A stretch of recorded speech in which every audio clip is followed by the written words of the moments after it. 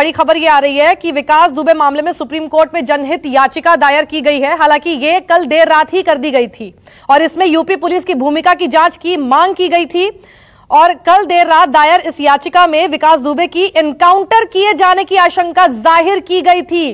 तब तक एनकाउंटर नहीं हुआ था, क्योंकि कल देर रात इस याचिका को दायर किया गया था। ये देखिए, बड़ी खबर हम आपको बता रहे हैं कि सुप्रीम कोर्ट में जनहित याचिका कल ही दायर कर दी गई थी और यूपी पुलिस की जो भूमिका है, उस पर पहले ही संदेह जता दिया गया था और उसकी जाँच हो, इसकी मांग की गई थी और एनकाउंटर हो सकता है।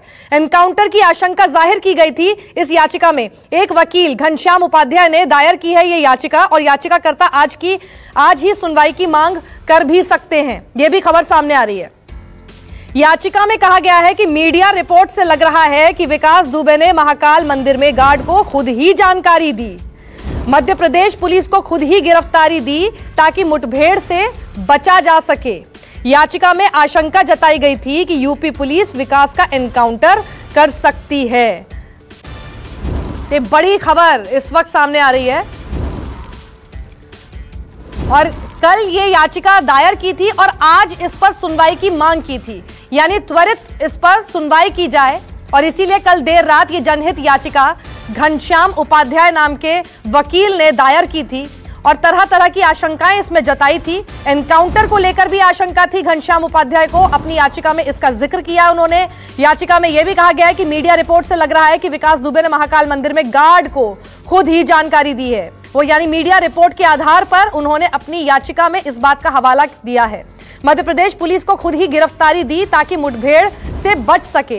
याचिका में आशंका जताई गई थी कि यूपी पुलिस विकास का एनकाउंटर कर सकती है और मीडिया रिपोर्ट्स के मुताबिक ये समझ आ रहा है कि उसका एनकाउंटर हो सकता है। हमारे साथ प्रभाकर मिश्रा जुड़ गए। प्रभाकर, क्या जानकारी? अब तो ये सुनवाई, क्योंकि एनकाउंटर से पहले कल जो है जनहित याचिका दायर की गई थी। आज क्या ये सुनवाई होगी?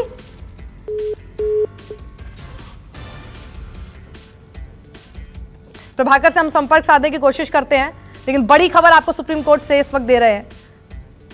विकास दुबे मामले में ये जनहित याचिका कल देर रात दायर कर दी गई थी। कल दिन भर की जिस तरह की तस्वीरें और जिस तरह की रिपोर्ट सामने आ रही थी, उसके बाद घनश्याम उपाध्याय नाम के वकील ने यह याचिका दायर की और इसमें यूपी पुलिस की भूमिका की जाँच की मांग की। और साथ ही विकास दुबे के एनकाउंटर किए जाने की आशंका ज़ाहिर की थी इस जनहित याचिका के ज़रिए। और यह भी चाहते थे घनश्याम उपाध्याय कि आज, यानी तब तक तो एनकाउंटर नहीं हुआ था, आज इसकी सुनवाई हो।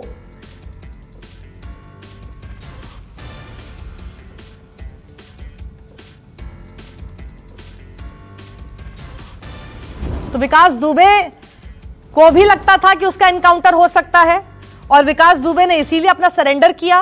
और विकास दुबे ने खुद गार्ड को जाकर अपना नाम बताया। ये बात उन्होंने अपनी याचिका में लिखी। और ये देखिए, अब आपको विकास दुबे का शव, जो कि है तो कवर्ड, लेकिन उसके ऊपर, क्योंकि उसको अपनी पहचान से बड़ा प्यार था, कल बता रहा था, बड़ी ऐंठ के साथ, कि मैं हूँ विकास दुबे कानपुर वाला। तो लीजिए, कानपुर के अस्पताल में ही उसके शरीर पर उसके नाम की पट्टी लगा दी गई है विकास दुबे शुरुआत की थी उसका खात्मा इस तरीके से हो गया है, उसकी लाश यहाँ पे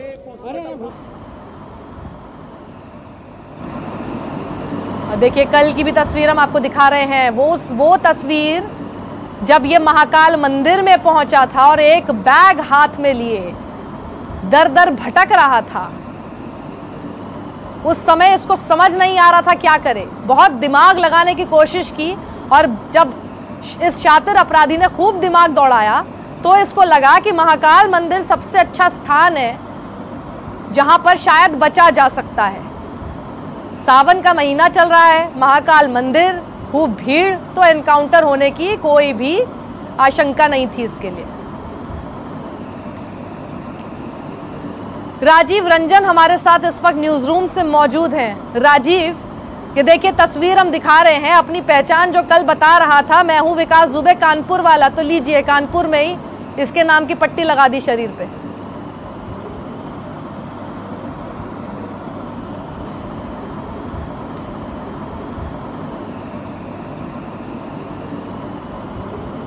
प्रभाकर मिश्रा भी हमारे साथ जुड़ गए हैं और ये जो जनहित याचिका कल दायर की गई थी, उस पर मैं इनसे सवाल पूछना चाहती हूँ। प्रभाकर, क्या आज अब एनकाउंटर के बाद इस पर सुनवाई होगी?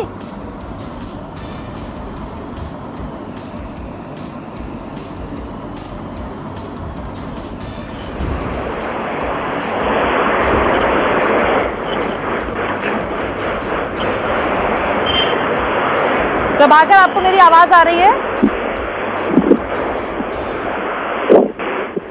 प्रभाकर तक शायद मेरी आवाज़ नहीं पहुँच पा रही है। जानना मैं यह चाह रही थी क्योंकि ये याचिका कल ही इस आशंका को ज़ाहिर करते हुए दायर की गई थी सुप्रीम कोर्ट में घनश्याम उपाध्याय नाम के वकील द्वारा, कि इसका एनकाउंटर हो सकता है। और आज ही सुनवाई की मांग की थी कि आज त्वरित रूप से इसकी सुनवाई की जाए। लेकिन अब एनकाउंटर हो गया। जिस बात की आशंका ज़ाहिर की थी, वो काम हो गया। तो क्या उसी जनहित याचिका पर आज सुनवाई होगी?